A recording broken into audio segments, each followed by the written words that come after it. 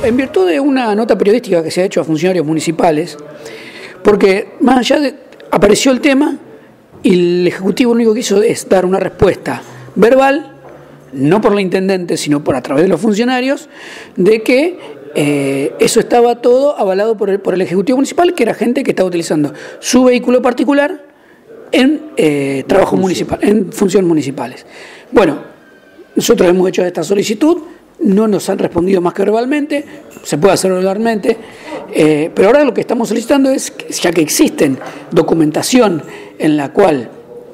consta eh, quién es el funcionario que retira los, tickets y qué cantidad de tickets van retirando, que se nos eh, remita al Consejo Deliberante para poder corroborar estas, estas cuestiones. Porque seguramente si hay un funcionario que tiene funciones de servicios públicos, corresponde que eh,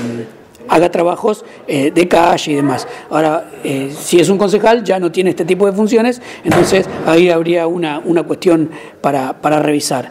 Pero ya que existe la documentación, eh, queremos que se remita al Consejo Deliberante, estamos exigiendo que se, remita al Consejo Deliberante, porque la nafta se compra con fondos públicos, no se compra con, con fondos de ningún particular. Es plata de todos los cañadenses que hay que eh, rendir cuentas. Más allá de que obviamente no es un trabajo que va a llevar un día, que uno agarra un, una carpeta y la remite al Consejo, va a llevar un trabajo, pero es obligación del Ejecutivo remitirla al Consejo Deliberante, así que lo estamos exigiendo. Igual aclaramos que en este caso y en la otra minuta también, los concejales de oficialismo acompañaron con el voto positivo este reclamo. En este, esta oportunidad han acompañado.